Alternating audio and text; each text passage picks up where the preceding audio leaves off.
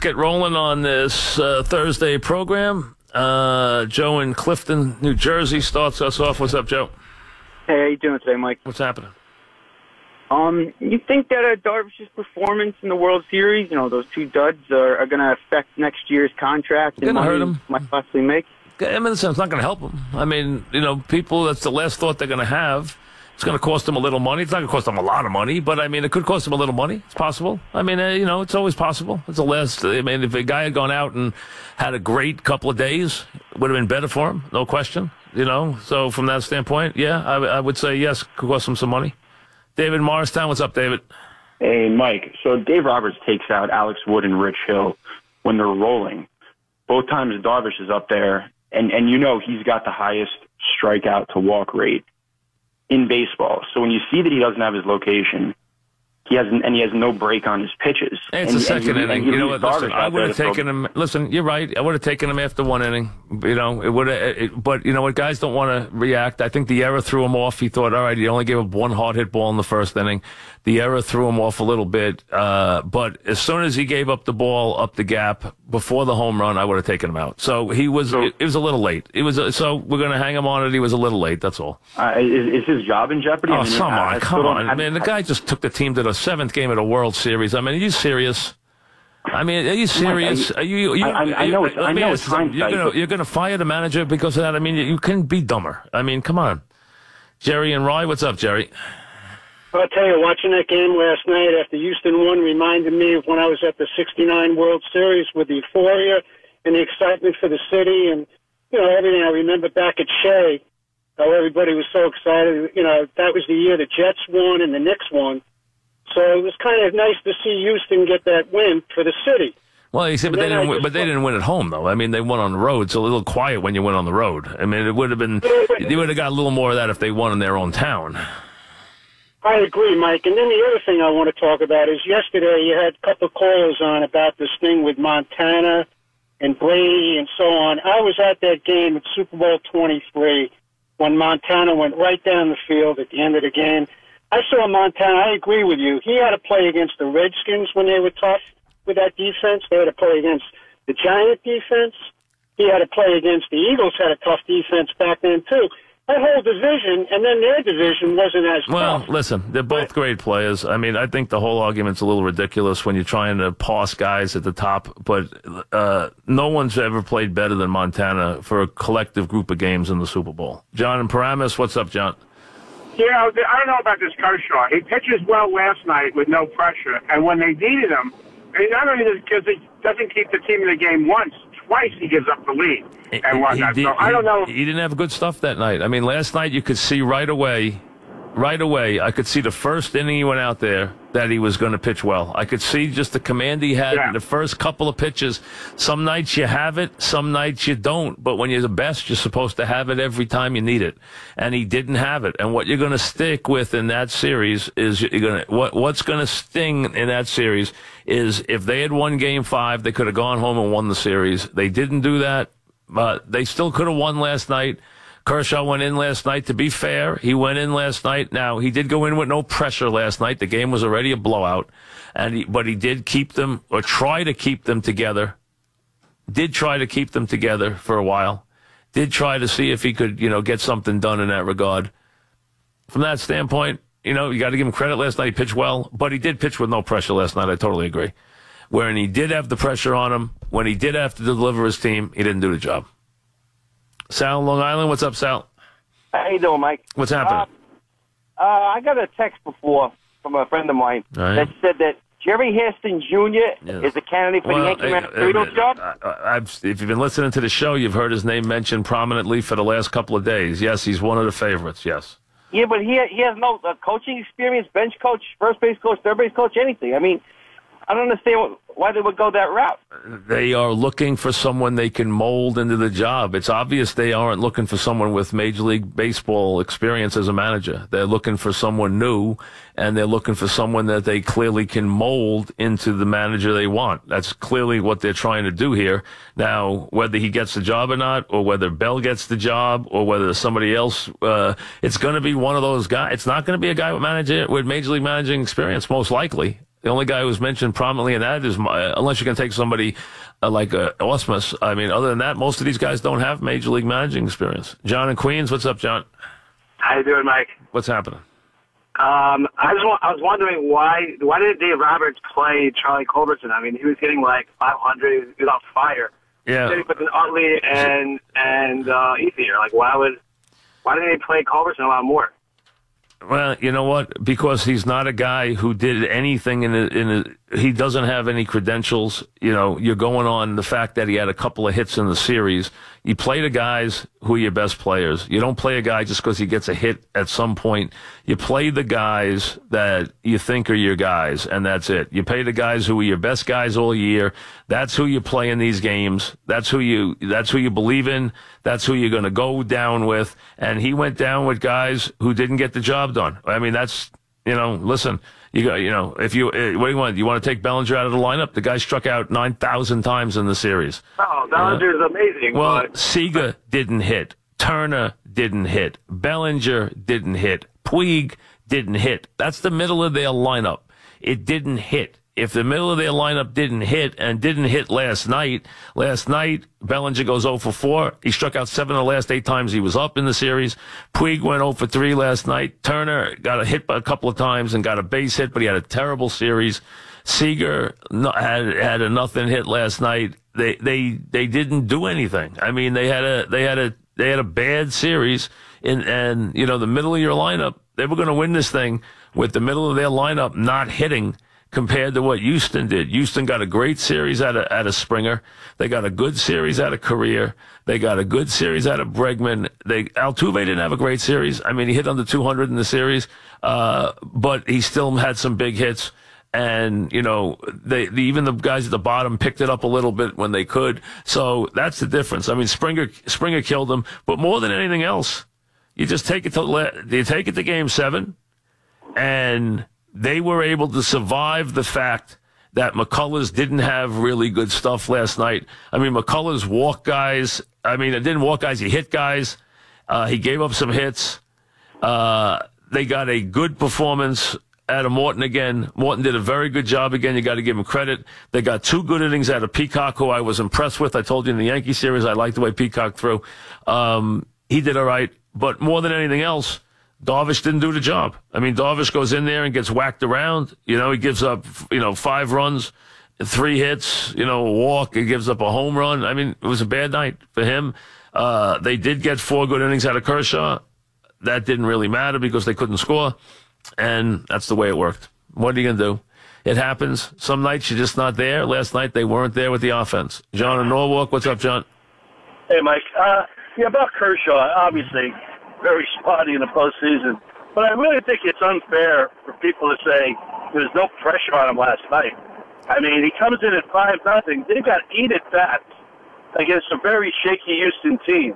I mean, he comes in and he's got to hold them to Yeah, no more runs. John- John, So I think John, I'm not John, saying he started the we're not gonna- we're not gonna- there was a lot of pressure We're on not him. Throwing you bou- know, We're not throwing bouquets to him for getting some, for getting some outs in a, for getting outs in a five nothing game when he had a four nothing lead and a seven four lead and couldn't hold it in either spot with the series on the line. I mean, so that's the game. He, he- that's the game you needed the zeros. All right. Mike, I understand that, but Mike, it's not the only game in the series. To, to say, John, the he- game was five- game- I was like, he, he choked in that game, but last night on the Well, four, the four li- scores didn't listen, I'm. I'm not Sure. making a big deal about last night when it's already five nothing. I'm sorry, the game changes when it's five nothing. Their at bats change when they're five nothing.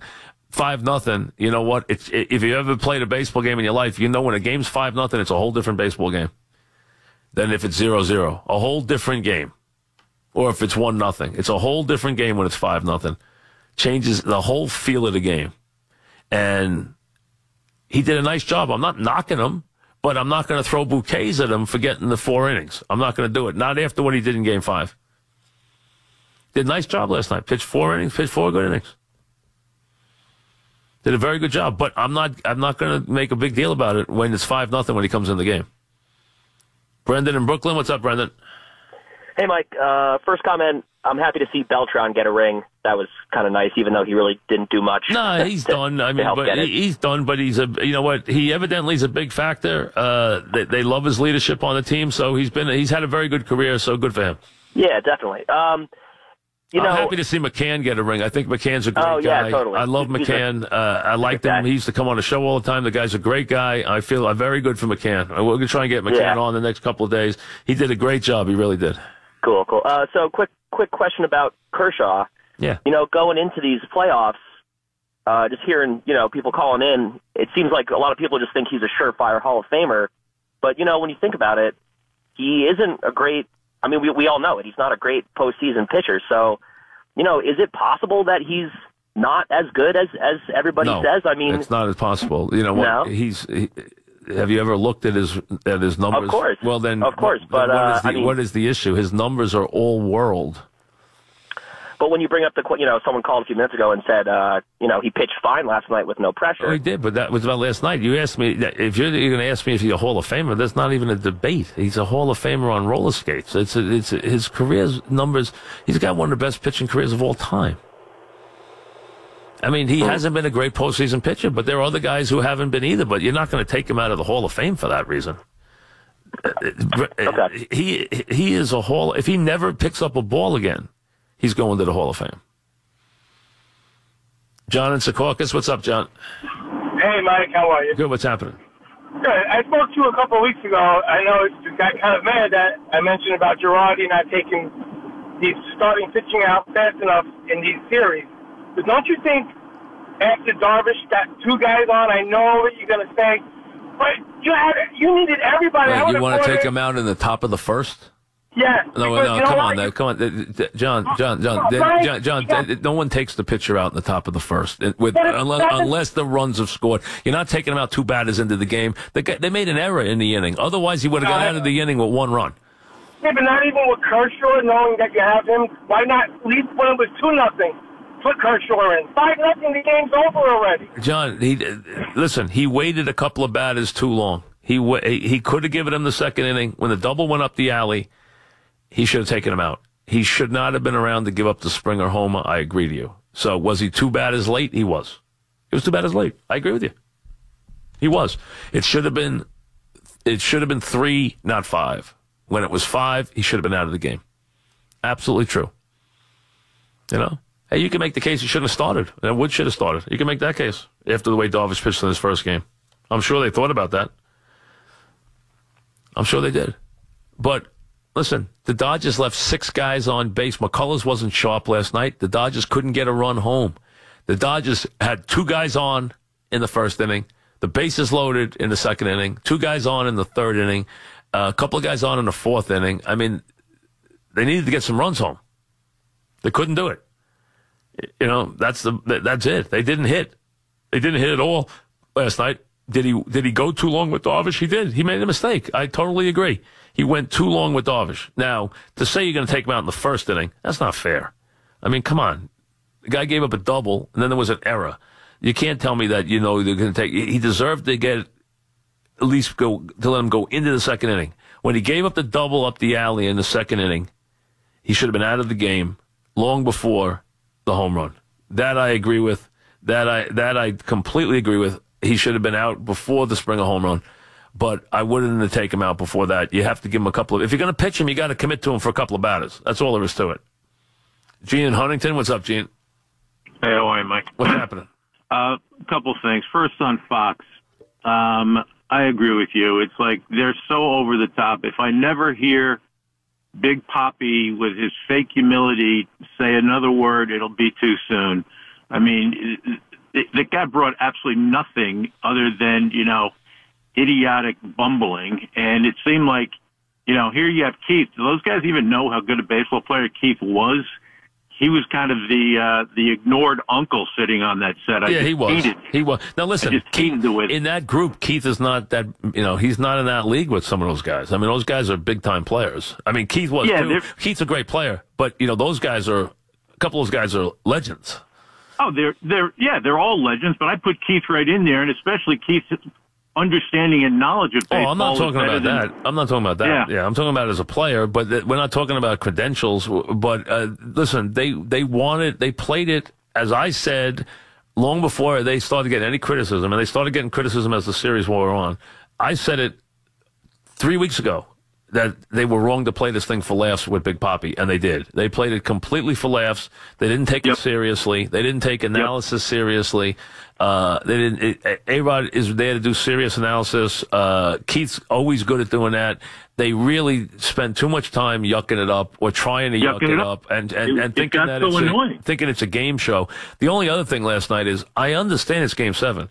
Uh, one feature will suffice. I don't need three features before the game, all telling me the same thing in three different voices that it's game seven. We got the idea that it's game seven. I mean, I think we figured that out by now. We know it's game seven. Give me the, give me the game, please. I didn't need to see another. I mean, I saw one feature, then a second feature, then a third feature, all on the fact that it was game seven. I got it. It's game seven.